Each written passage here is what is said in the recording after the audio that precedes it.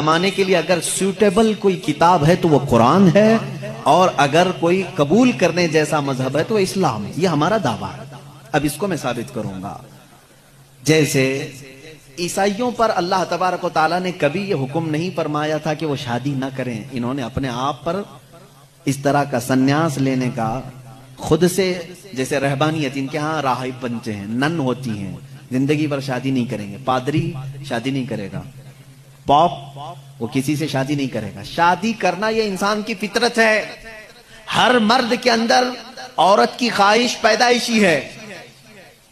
यानी अल्लाह ताला ने उसके जिस्म में ये रखा है कि औरत से वो करार हासिल करे, तस्कीन हासिल करे।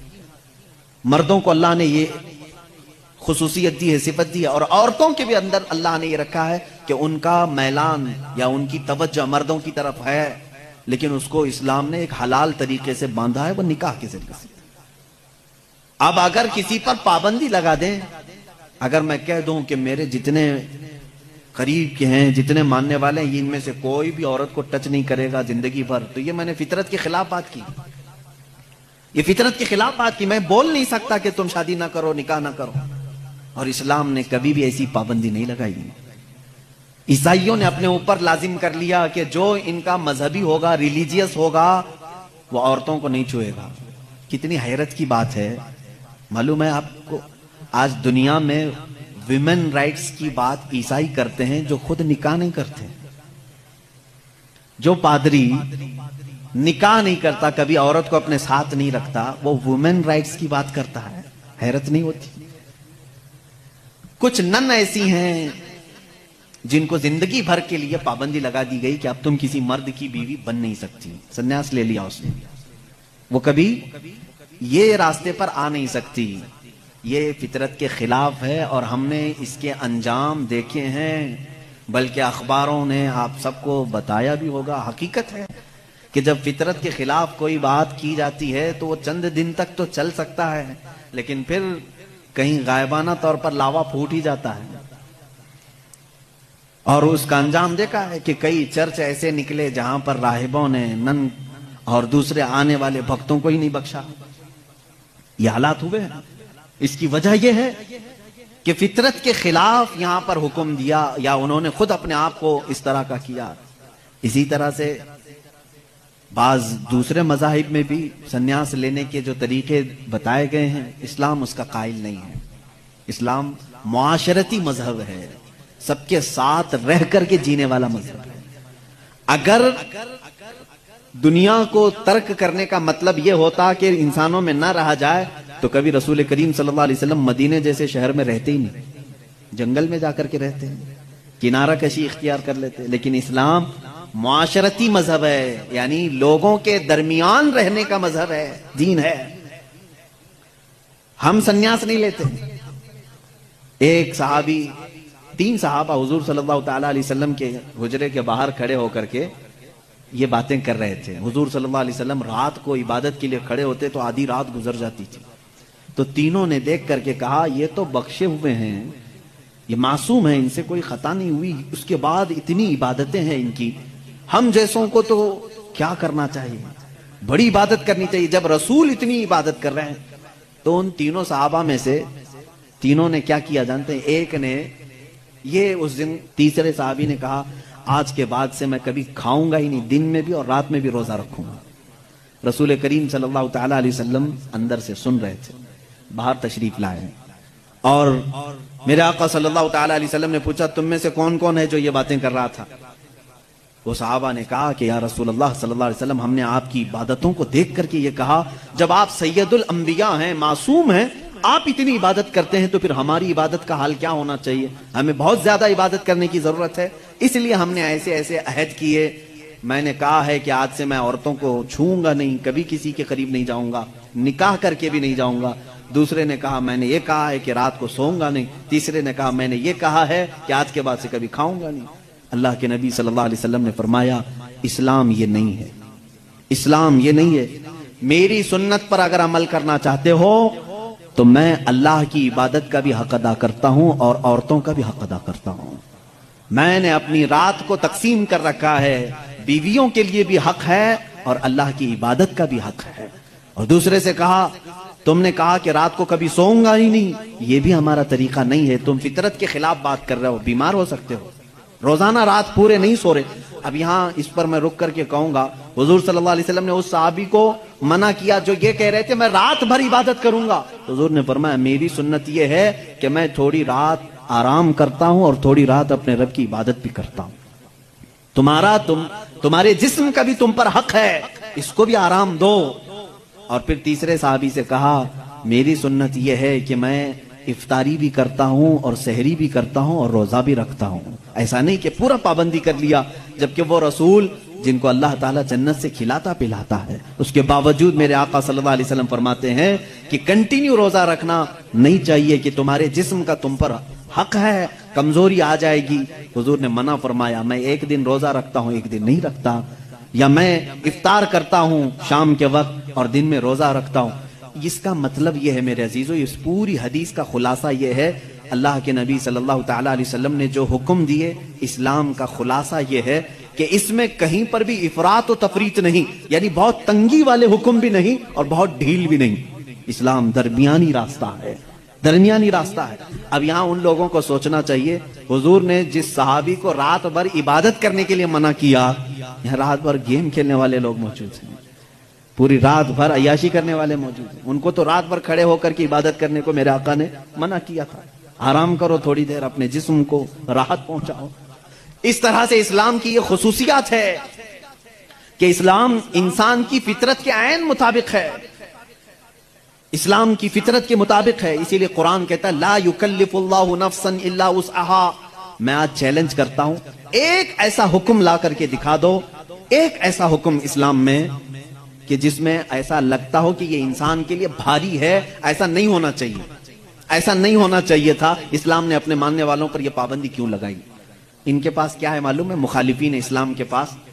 अगर वो लाएँगे कोई चीज़ तो ये कहेंगे कि इस्लाम साल में एक मरतबा पूरे महीने भर लोगों को भूखा क्यों रखता है? भूखा क्यों रखता है? जबकि ये इंसान की फितरत के खिलाफ है। इंसान खाना पानी पसंद करता है और आप उसके खाने पानी को रोक रहे हैं। तो मैं पहला जवाब तो ये दूँगा कि रोज़े रखने से कितने मुसलमान मर गए? पहली बात यह है, अगर हर साल एक महीना रमज़ान में इस्लाम अपने मानने वालों को रोज़े रखवाता है तो फिर ये मुसलमानों का सफाया होते रहना चाहिए। अगर ये सेहत के खिलाफ होता तो अगर ये हमारे जिस्म के खिलाफ होता रोजा रखना तो इस्लाम में हर साल रमज़ान के टाइम पे लाखों की मौत हो जाना चाहिए। भूख से मर गए, भूख से मर गए। अब तक तो इस्लाम ही नहीं होता चौदह सौ साल से। मेरे अजीजों, अब मैं आओ इनकी नकली दलील भी अगर बता दूँ, नकली का मतलब नकल की हुई, इनके जो रिसर्च स्कॉलर हैं, इन्होंने खुद कहा है, आज मैं दो चार रोज से डाइटिंग प्लान देख रहा था कि डाइटिंग प्लान में क्या होता है जिस्म को सही रखने के लिए, फासिद मादात को दूर करने के लिए। तो एक बड़े डॉक्टर की वेबसाइट में मैं पढ़ रहा था, उस डॉक्टर ने दो चीज़ें की हैं। दो चीज़ें उसने रखी हैं कि अगर अपने जिस्म को 80 साल तक ज़िंदा रखना और सेहतमंद रखना चाहते हो तो दो चीज़ों को अपना लो कि हफ़्ते में एक दिन सुबह से लेकर शाम तक अपने जिस्म में कुछ भी ना डालो। ये डाइटिंग प्लान में है, मौजूद है। कुछ ना डालो, सिर्फ़ पानी पर रहो। और एक डॉक्टर ने ये लिखा है कि ग्रीनरी, जितनी भी ग्रीन चीज़ें हैं, सब्ज़ियाँ हैं या फल हैं, सिर्फ़ सुबह और शाम में। हफ़्ते में एक मरतबा ऐसा इस्तेमाल करो, तुम्हारी सेहत बरकरार रहेगी। टाइम्स ऑफ़ इंडिया, हिंदुस्तान का बड़ा चलने वाला अखबार है। इसके पेज में भी मौजूद एक रिसर्च शाया की गई थी, जिसमें एक डॉक्टर का ये दावा था, हमारा डॉक्टर नहीं। फिर अगर कोई मुसलमान डॉक्टर ऐलान करता तो फिर एक तरफा वाली बात होती। नॉन मुस्लिम डॉक्टर ने अपने रिसर्च में ये कहा है कि हमने बहुत गौर से देखा कि सुबह सूरज निकलने से पहले से लेकर शाम सूरज डूबने तक अगर कोई एक महीने तक इस तरह भूख बर्दाश्त कर सकता है तो उसे कैंसर नहीं आएगा। उसने कहा है कि कैंसर का इस चीज़ में इलाज देखा गया है कि जिस्म के अंदर के फासिद मादे निकल जाएँगे। मैं फिर चैलेंज करता हूँ, और लाओ कोई दूसरी बात, जिसमें ऐसा कोई हुक्म हो इस्लाम का, जो इंसानों के लिए भारी है। तुम ढूंढ करके रोज़े लेकर के आए थे। रोज़े लेकर के आए थे। और फिर अगर ये कहते हैं तो इनमें से जो इधर उधर के लाते हैं, छोटी छोटी सी चीज़ें हैं। एक बड़ा तबका है जो इस्लाम की कमियाँ ढूँढने के लिए अपनी पूरी ज़िंदगी खर्चा कर रहा है। है हमारे पास वो सारी चीज़ें कुरान को खुर्दबीन लगा के, माइक्रोस्कोप लगा करके पढ़ने वाले लोग हैं कि कहीं तो कुछ निकल जाए, मिल जाए। अरे मियाँ, ये काम तो अरब वाले भी कर चुके उस वक्त, उनको नहीं मिला, तुम जाहिलों को क्या मिलेगा वो अरब थे, अरबी दान थे। वो नहीं ला सके उस जमाने में। खैर, अब इस्लाम की और कौन सी चीज़ ऐसी जो भारी लगती है? तुम्हें कौन सी? कहा ये क्या है? सुबह सुबह उठा देते हैं।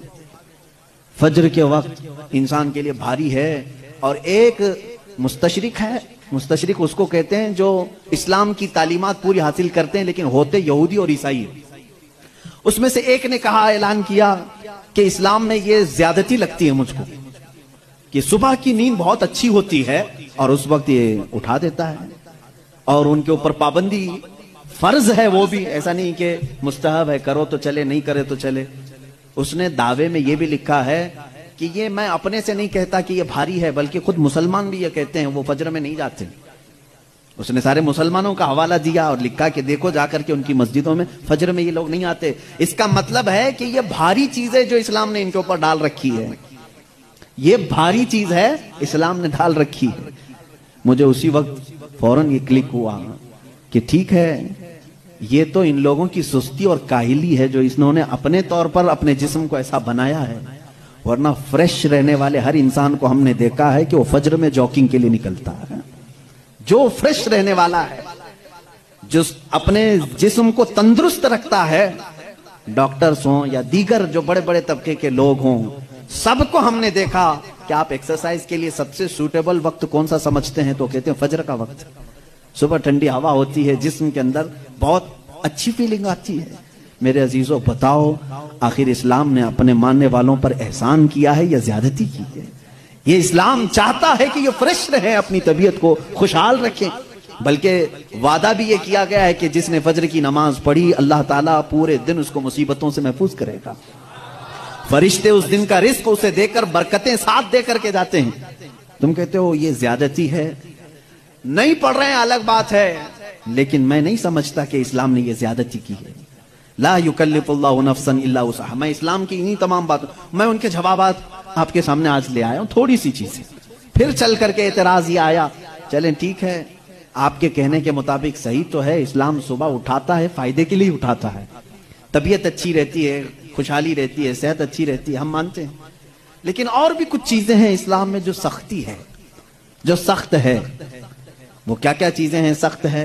इनके दिमाग के एतबार से वो मैं आपको बताता हूँ।